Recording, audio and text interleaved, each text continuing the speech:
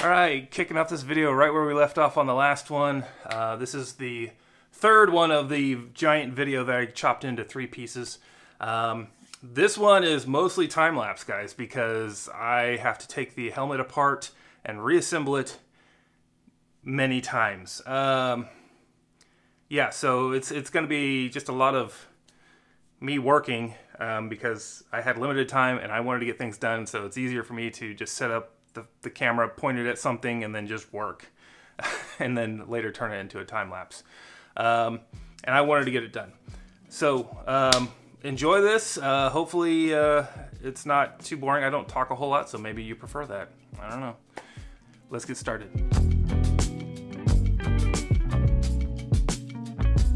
Well, it's, it's on there, but uh, I don't have all the screws in there. I just have the first two on each side put in, but that's pretty cool, you know. Um, I don't think I'm to do any more of uh, the lower section. Um, I want to uh, get the uh, the ram's horn section done first, um, and the reason why that is is because um, taking the ram's horn on and off is to be the biggest pain in the butt. So once I get all the holes done on those, if I get this first one done, then I can do the second one, then I can do the third one. Basically, I've already got the first two on the back. Um, already done, so this part shouldn't move at all, and I should be able to mark these out and get them uh, drilled and in place. But I have to take the ram's horn piece off each time because I have to put one in, put the screws in it, tighten it down, mark the next one, take it all off, drill, put it all back on. So you get the uh, you get the impression there. It's very time consuming uh, which is why I'm having such a hard time getting this done. Not hard time getting it done, it's just I don't have time to do it. um, so that's what I'm gonna do. I'm gonna do the first hold now because I got a little bit of time to do it. Uh, hopefully I have enough time to do it and get it put back on uh, so I can mark the next one, which will probably be in a day or two or whatever. I don't even remember the last, I think it's been a few days since I've worked on it at this point. That's the plan. Enough with the talking, I'm just going to film the doing from here until I'm done. Unless something comes up, of course.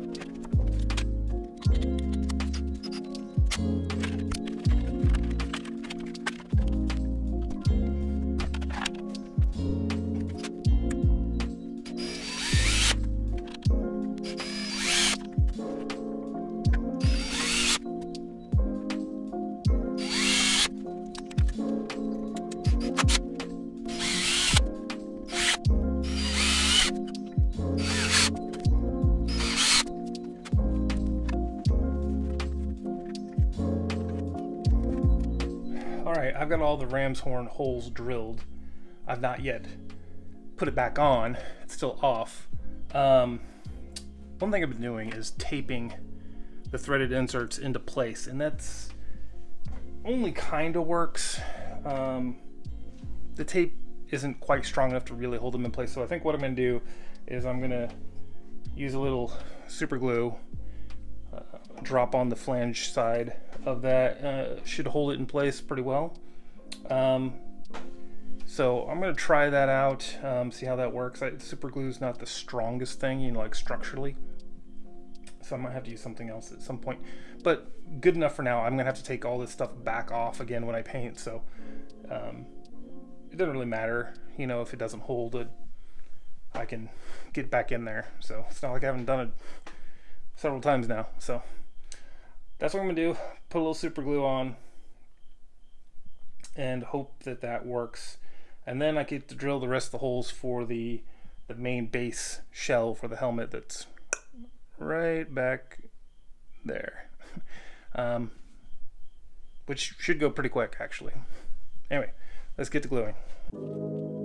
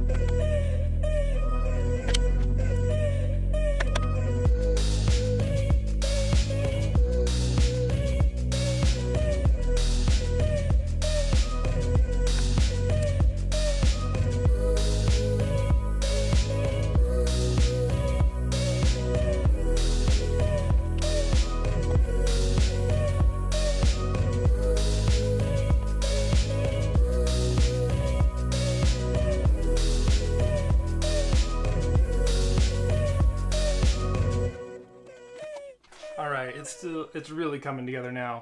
I just have three more holes on each side. I got to drill holes for, um,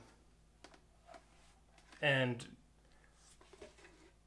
then the mohawk is attached officially.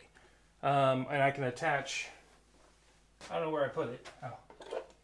I can actually affix this front block on there. That's pretty cool. I might have to trim this up a little bit now that I see how it sits on here. I don't want it to be angled, but that's easy to do. Another cool thing, I finally figured out how to get these visors to snap into place. You really just kind of have to manhandle them um, like once it's on. You, you want to try to get them in there as early as you can, but you can just kind of force them into place. But, you know, it wasn't even that smooth uh, when I, the first the helmet first came in. So I think they were, if I remember right, they were off the track then when they first came in. So now they're functional once again. That's pretty exciting. yeah. But unfortunately, I have to take the mohawk off every single time I drill a hole because the bit for the uh, the fastener side is bigger than the hole that is in the mohawk side. So I can't just like drill through. I mean I could but the hole wouldn't be big enough on the fastener side. So and because I'm trying to be super precise and not have waviness you know like there's no waviness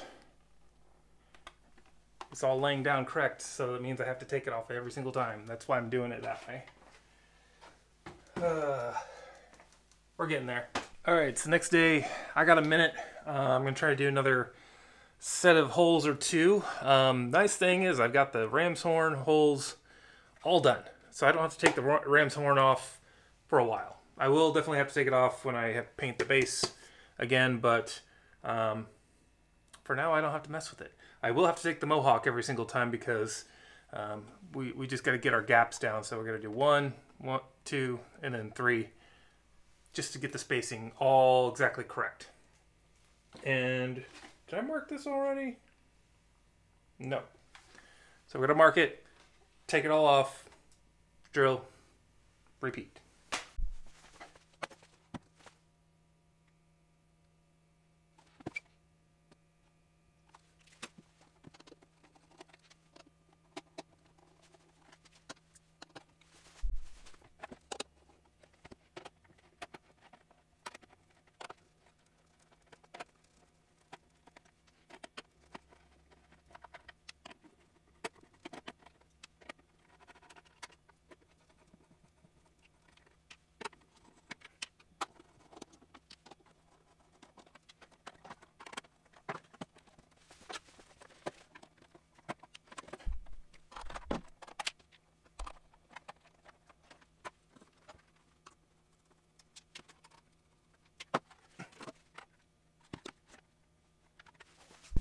Well, it looks like I've made a slight miscalculation here.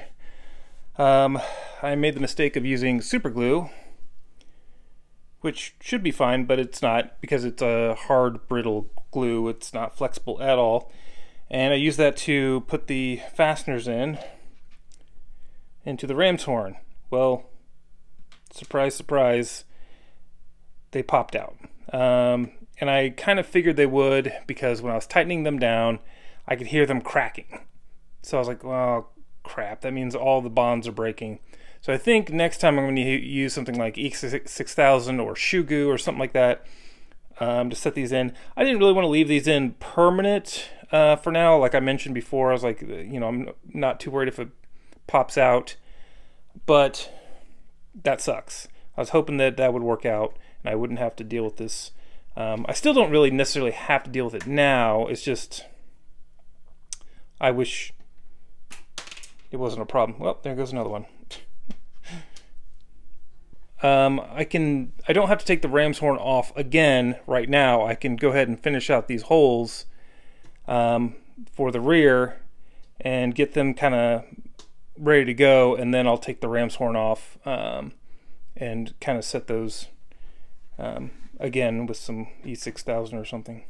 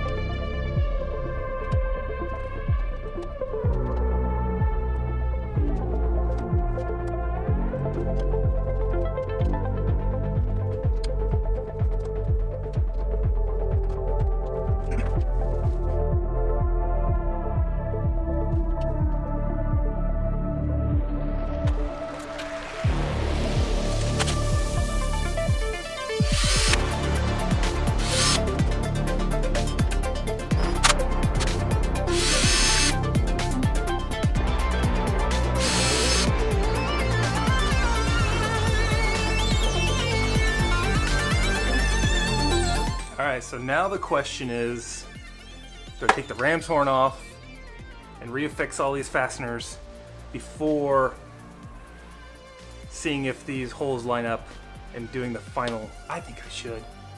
I don't really want to take the ram's horn off, but I gotta get those fasteners in there.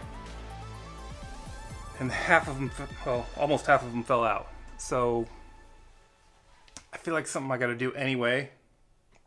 Might as well be now.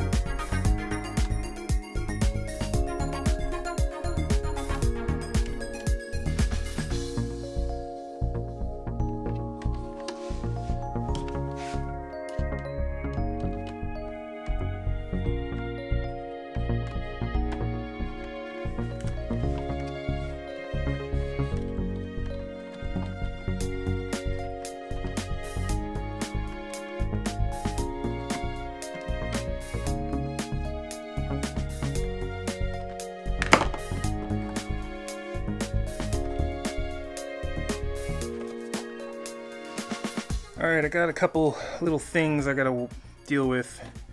Um, this side has a bit of a gap, and it's not really a gap. Um, I cannot seem to tighten the screw any further. It just wants to spin on the inside, and there's it's just you know smooth, so I don't can't get a grip on it uh, to stop it from spinning. So I think it's got to be glued in place and like let set before I can tighten it down because it just will not thread down anymore. It just spins and spins and spins. Once once I can tighten it down, it'll it'll compress down. It'll be just fine. Um, similar issue on the Mohawk. I use the E6000 up here, or the Shoe Goo actually. This stuff right right here. Um, didn't let it cure up before I started screwing into it, and they wanted to spin. So um, this guy is like a little bit looser than I want, just a hair. But I, I was my my thought process was I needed to get it tightened down that way it's as flush and flat as I can before the glue sets.